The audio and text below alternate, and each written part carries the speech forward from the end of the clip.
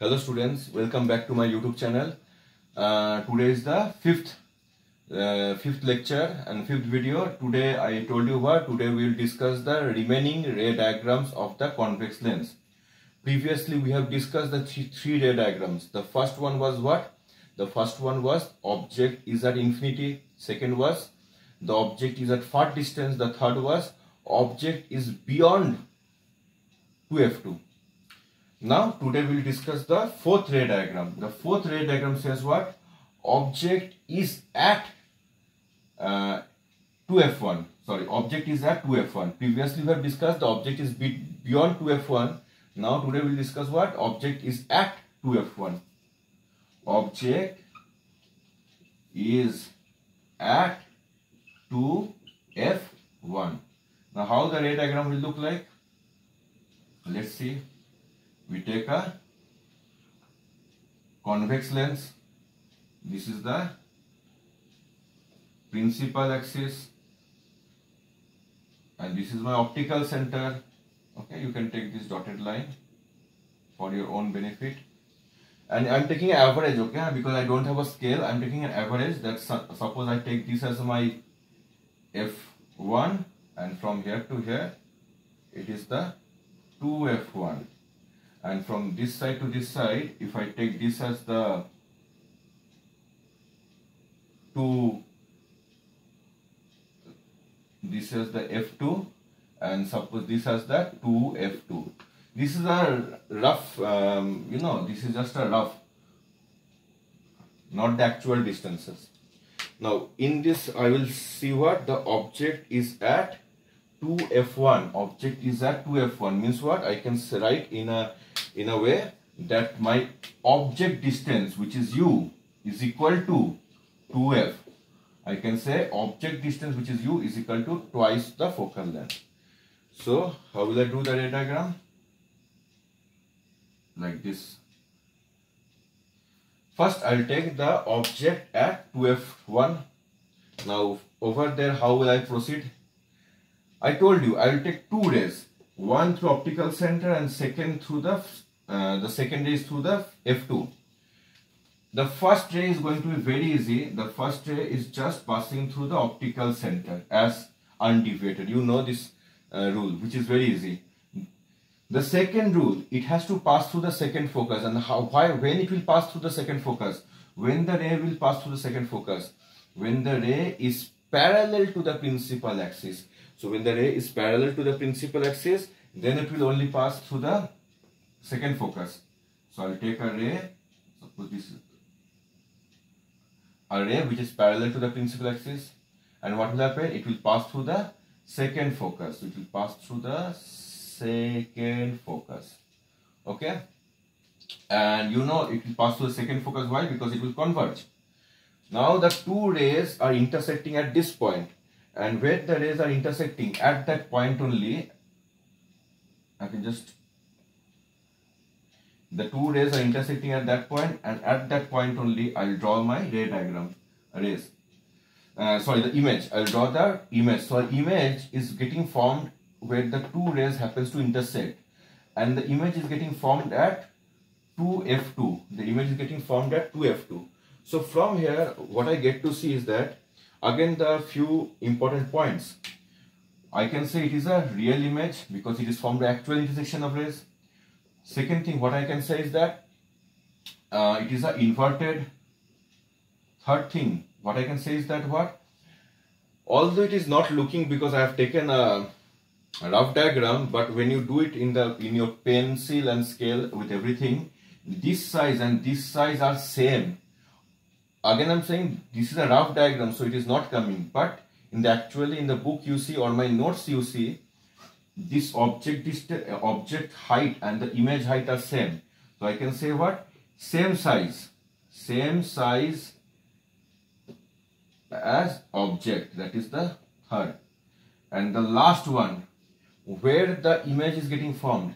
Image is getting formed at 2f2 so image formed at 2f2 on the other side. As I'm telling on the other side. On the other side of object. On the other side of object which is very important to write. So these are the four characteristics that we come to know about this ray diagram. Uh, one thing you have to know about the ray diagram where it is used. This kind of a lens this kind of lens where the object is placed at 2f2 and the image is formed at 2 sorry the object is placed at 2f1 and the image is formed at 2f2 this is used in terrestrial telescope. So use i can say the use is what? Terrestrial telescope. So it is used in terrestrial telescope this uh, object at 2f1 i hope you understood the fourth ray diagram again i'm saying in all the ray diagrams, you will see a very common fact that one ray is passing through the optical center and the second ray is parallel to the principal axis. Every ray is there. First ray optical center, second ray is parallel to the principal axis. This is a common for every ray diagram. Now after this what? Now we come to the fifth ray diagram. The fifth ray diagram. And the fifth ray diagram says what? The object is between F1 and 2F1. The object is between object is between F1 and 2F1. So how is going to happen? See, this is the lens and this is the principal axis. This is my optical center. This is my first focus. This is on the other hand second focus. This is the twice of the first focus. And this is twice of the second focus. Okay? Now what we are going to see over here is that now the object is where? The object is between f1 and 2f1 means what? Here is suppose here is my object. Now how we are going to write this? Where the object is going to be? See first just uh, you can uh, understand it by this way. If i write 2 4 6 can i write or not? 2 is less than 4 4 is less than 6 similarly you have to write instead of 2 you take this distance f1 which is the smallest f1 so this is f. Instead of 4 you take this distance which is u. Object distance which is u. And instead of 6 you take this distance okay this distance which is what? This distance is twice the f twice f. So how will i uh, understand it this is the object distance which is greater than so you can see object distance is greater than the first focus because yes it is object distance is greater than the first focus. And if you see over here object distance is less than the second focus. Sorry object distance is less than the twice the first focus. Yes this distance is smaller than this. This is my 2f which is big and this is my u which is small. So that is how we are going to express it now after this the ray diagrams which i already told you first ray is going to pass pass through the optical center undeviated and the second ray will become parallel to the principal axis and after refraction it will pass through it will it will pass through f2 it will pass through f2 so the two rays happen to coincide over here and when the two rays coincide this is the point where my object image will be formed. This is the point where my image is getting getting formed. Okay? So what I will write over here um, what are the characteristics? The same thing. Firstly it will be a real image. Secondly it is a inverted. Thirdly uh, size? You can see it is small in size which is big in size this is small in size and this is big in size. So I can say it is magnified. So it is the third point is what? It is magnified. And the fourth point, where it is formed? It is formed beyond 2F2. It is formed beyond 2f2 on the other side of the object. Yes. Beyond 2f2 on the other side of object. So these are the four points I came to know. Real, inverted, magnified and beyond 2f2 on the other side of the object. And use, what is the use of it? What is the use of this lens? This lens, uh, sorry, this lens, this uh, this means uh, this object distance over here between 2f1 uh, and f1, it is used in the cinema hall, cinema hall, and you can say slide projector. Okay, the uses are very important in the ICSE board. It is often asked. So it is users are in cinema hall and in the slide projector. I hope you understood the uh, this is the fourth or the fifth achha, this is the fifth one this is the fifth one i hope you understood the fifth ray diagram now two more ray diagrams are there and then we'll complete the convex lens portion.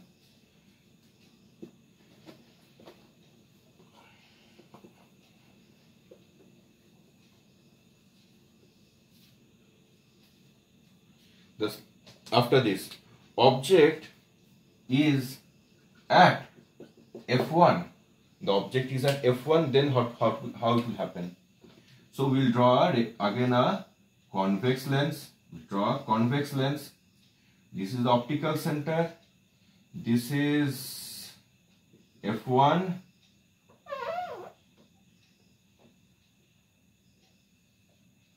and this is f2 this is 2f1 and this is 2f2 now they are saying is what? They are saying that the object is at f1 object is at f1 so if the object is at f1 how it will happen? Suppose i take this object is at f1 now i again the same thing. The first ray will pass through the optical center. The first ray will pass through the optical center undeviated and the second ray will be becoming parallel to the principal axis and then it will pass through the second focus. Okay. So over there, this will be the ray diagram. Now, what are the characteristics that we get from here?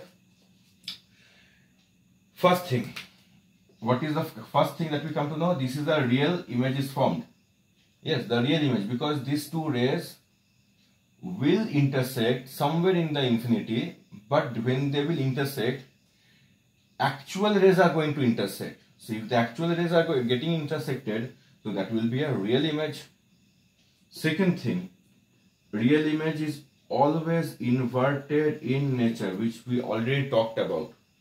Third thing, the image which is getting formed now that is getting formed at infinity so if it is getting formed at infinity that will be magnified or I will use the word highly magnified highly magnified. And the fourth one what we have supposed to say about the fourth point?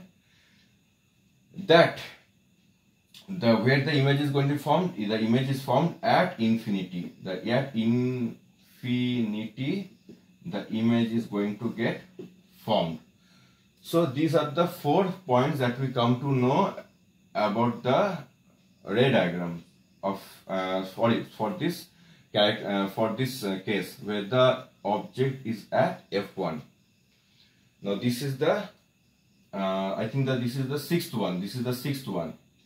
Now we come after this the last part. But before, uh, before this what is the use? What is the use of this um, lens this lens is used in collimator of spectrometer. So it is used in collimator of spectrometer. Okay so this is used in collimator of spectrometer. Just know the uses okay? Now what is collimator or spectrometer? That is there in higher classes but just know the name. It is used in collimator or spectrometer when the object is placed at f1 Now after this we come to the last ray diagram for the convex lens. And I think you know what the last ray diagram will be. Between the optical center and F1 so the object will be placed over here between O and F1 for the next one.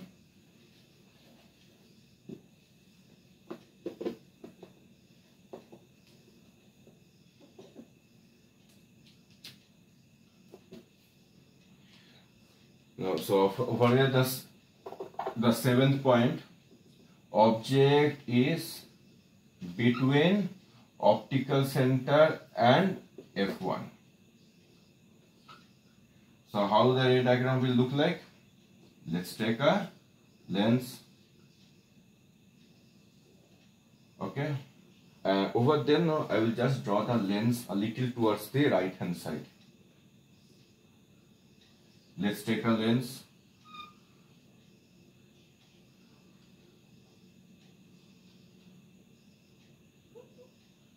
Now, this is the optical center and I think you know this is F2, this is twice F2 and this is F1 and this is twice F1, right? Now, I need to know where is the object is. The object I told you it is between optical center and F1. So the, my object is going to be over here. The object is going to be over here. Now over here how the ray diagram will be happening from here onwards. Same thing. The first the ray diagram will be from the head and it will pass through the optical center. It will pass through the optical center. Secondly, it will the second ray is going to be parallel to the principal axis and we know any, any ray which is parallel to the principal axis after refraction it will pass through F2 okay so this is how the two ray diagrams are going to be. Now the important thing over here is that that these two rays are diverging in nature. And two diverging rays never meet. Two parallel rays will meet somewhere in infinity okay like the previous one there are two parallel rays which will meet somewhere in the infinity okay? But over here these are two diverging rays and two diverging rays are never going to meet.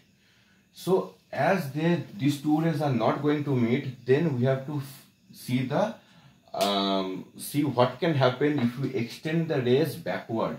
So we have to extend the ray backward. So i will extend the ray backward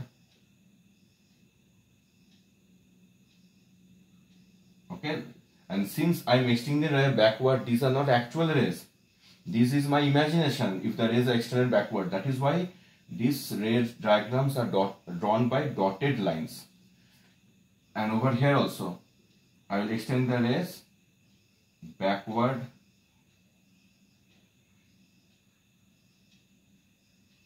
So i extend the rays backward and both the rays meet at this particular point and at this particular point is the point where my image is getting formed. This particular is the point where the image is getting formed. And what I can write about the characteristics? Now these characteristics are going to be different. These characteristics are going to be different from the previous one. Firstly is this image is getting formed by actual rays? No it is getting formed by virtual rays because these rays are extended backward. So as it is getting drawn by virtual rays, the image will be virtual image. Secondly, what we can understand, if it is a virtual image, then it will not be inverted, it will be erect and you can see it is erect. So the second part is, it is a erect image. Thirdly, over there you can see this size. The size of the image is highly magnified. You can see this is small in size, this is big in size. So I can say what? It is magnified. I can use the word magnified. And ultimately what you can say, this is formed where? This is formed on the same side of the object. This object is on the left hand side, the image is also on the left hand side. So I can say what? It is formed on the same side of the object. Okay, same side of the object. And uh, what I can say about the uses? This is used in magnifying glass magnifying glass like uh, we can see small small things quite larger. This is the object which is very small and you can see the image is formed very big. So this is used in the magnifying glass. Like like suppose your eye is over here and you keep the smaller object. Beyond that only you will get a larger size image okay? And things will become more clearer. So uh, this is used in the magnifying glass so these are the seven ray diagrams that we have for the convex lens. It is very easy actually. Firstly, you have to know the three rules. What happens when it passes to the optical center? What happens when it passes to the f1? What happens when it passes to the f2? Now after that, you practice that. Then go for the ray diagram, the first seven. The first is at infinity, second is far distance, third is beyond 2f1, fourth is at 2f1, fifth is between 2f1 and f1, sixth is at f1 and seventh is between optical center and f1. You have to practice the diagrams and the and the very uh, common thing that you will get in all the uh, last five diagrams is that one ray is passing through the optical center and the second ray is becoming parallel to the principal axis and we know when it becomes parallel to the principal axis, it will pass through f2, which is the focus of the lens. This property, this characteristic is common in all the last five points, five cases. That is why I will say the formation of convex lens, although we have seven ray diagrams, but I guess it's very easy because all the similarities are there. And after that, you have to know the characteristics, which is very easy. We can find it from by looking at the image only whether it's a real or virtual or erect or inverted or like magnified or diminished it is very easy to understand by looking at the ray diagram. What you have to know other than this is that the uses the uses of every single case is to be uh, has to be learned hard because the questions are come from the uses also. So i hope you understood these seven ray, di ray diagrams from in the next class that is um, that will be lecture number 6 we will continue with the concave lenses. And we will have three cases in concave lens. So probably in the lecture number 6 it will finish the all the concave lens. So i hope you understood this part.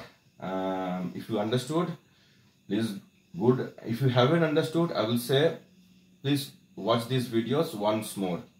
Watch the videos once more you will understand it so anyways, you take care of yourself and hit a like button if you happen to like the and understood the video. So bye, take care, good night.